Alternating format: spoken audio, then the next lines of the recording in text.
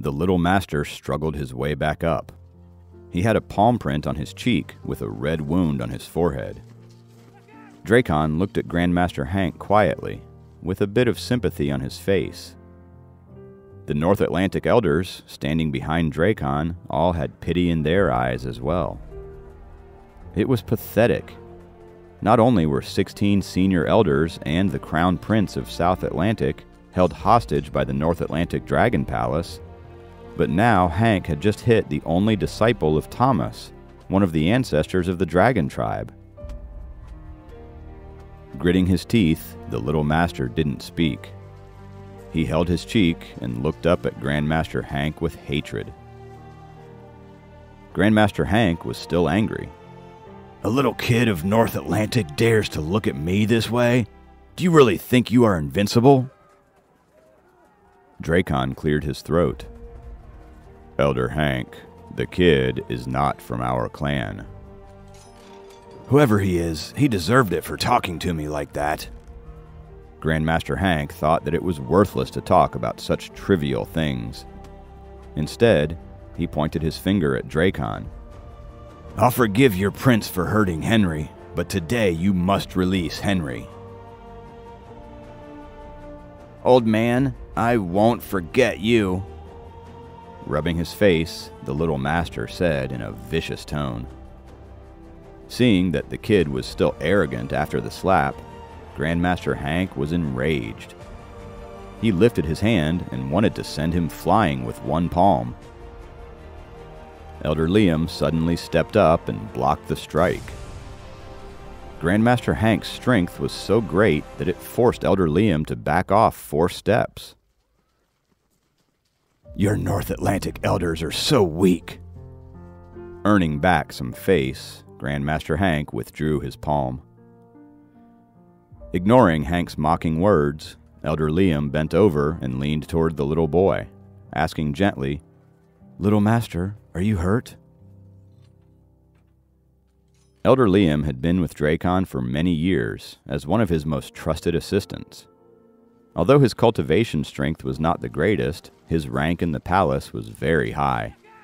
That was why Grandmaster Hank found his concern for this kid in the robe quite unsettling. I'm fine.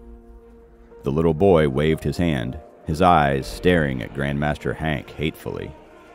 Abruptly, he turned and went inside the Dragon Palace. I forgot to introduce him to you.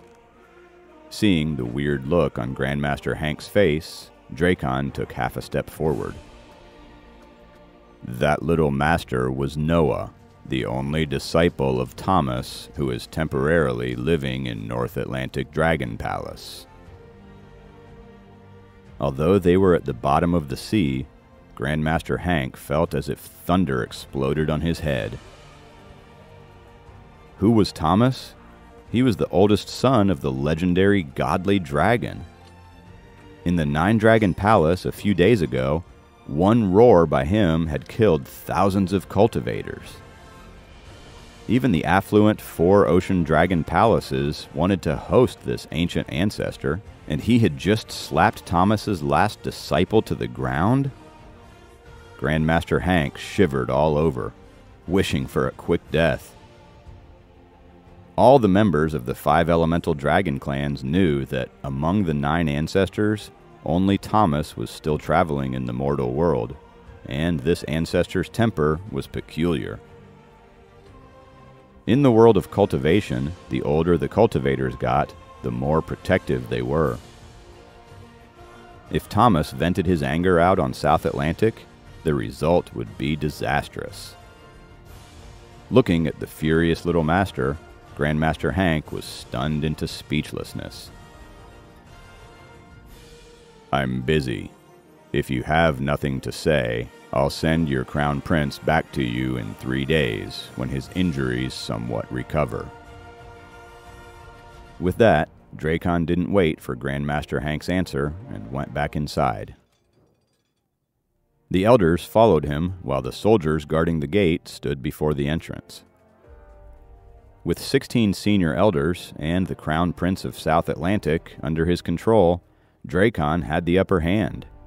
he didn't even allow the aggressive Grandmaster Hank inside the door. The old man almost lost his temper, but he knew it would get him nothing. He had demanded that the North Atlantic hand over Jacob in three days, or he would run wild in the North Atlantic's Dragon Palace with 16 high level elders. But now, North Atlantic turned the table and gave him an ultimatum of three days. If the South Atlantic behaved well, North Atlantic would release Henry intact in three days.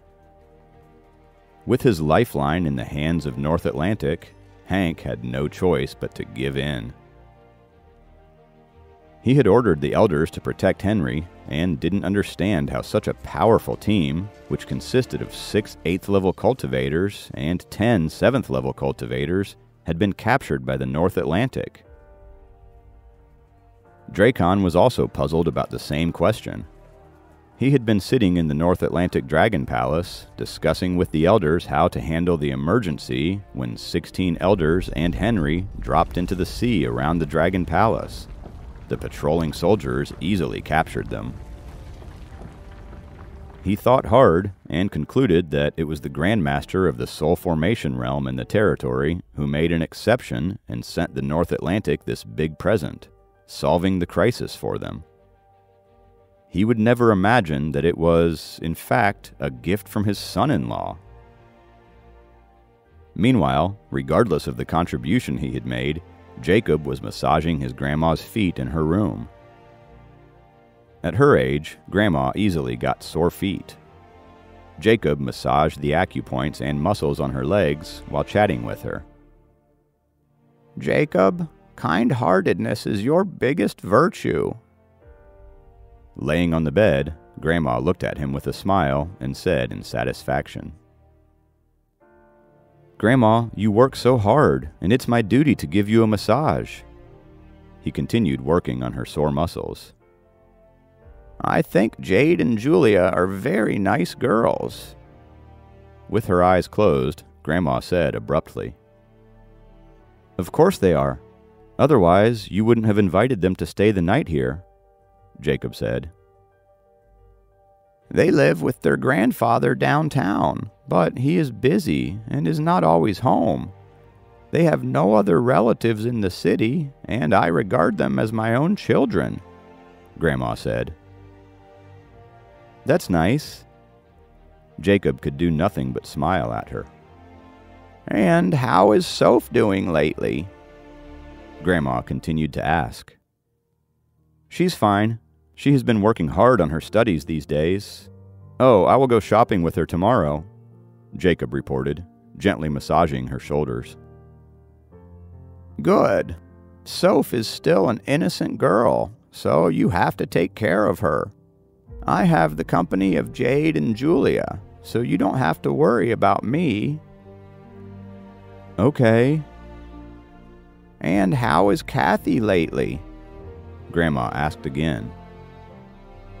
Exhaling lightly, Jacob wondered if Grandma was doing a roll call. But he couldn't voice his thoughts. Instead, he answered immediately She's fine too. She had meant to visit you this weekend, but she's quite busy, and I don't know her exact schedule. Well, Kathy is a good girl as well, Grandma said meaningfully. She continued, after a pause, Thinking about it, Kathy's situation is quite pitiable being left alone here while her parents are both out of the country. Jacob nodded his agreement. With Kyle gone to London a couple of days before, she must be even more alone, living with her aunt and uncle, who ran some small businesses. You should invite Kathy to our home on the weekends. She is like family anyway. Grandma looked back at Jacob. Look at Jade and Julia. They are easygoing and warmed up to me so quickly. Jade and Julia have made it their goal to serve me. Of course they have warmed up to you quickly, Jacob thought to himself. However, he agreed with Grandma's sentiments. Kathy was indeed lonely. She had even canceled her plan of moving away for her parents. Okay, okay, You've been massaging me for more than half an hour now. My entire body feels relaxed. I'm ready for bed, and you go back to your room and rest as well. Removing Jacob's hands from her feet, Grandma said gently. Okay, have a good night, Grandma. Jacob backed out of the room. Jacob was getting ready for bed while thinking about his plans for the next day. He was going to be spending the whole day with Sophie, which was something he felt as if they hadn't done in ages, so he was a little excited about it. Suddenly, Jade and Julia appeared before him in their pajamas. Master, we forgot something important. Jade walked over and held up his right hand. It's been a while since we last measured your five elements. Julia walked lightly to the other side and held up his left hand. Metal 21, wood 18, water 22, fire 19, earth 20.